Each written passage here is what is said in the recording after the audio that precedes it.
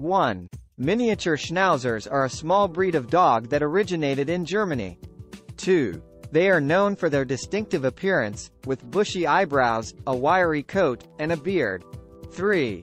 Miniature Schnauzers are highly intelligent and can be easily trained. 4. They are generally friendly and make great companions for individuals and families alike. 5. Miniature Schnauzers are alert and make excellent watchdogs, often barking to alert their owners of any potential danger. 6.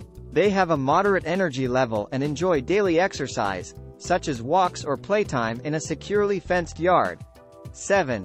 Miniature Schnauzers are considered hypoallergenic because they shed very little, making them a good choice for people with allergies. 8. They have a strong prey drive and may chase small animals, so caution should be taken when introducing them to other pets.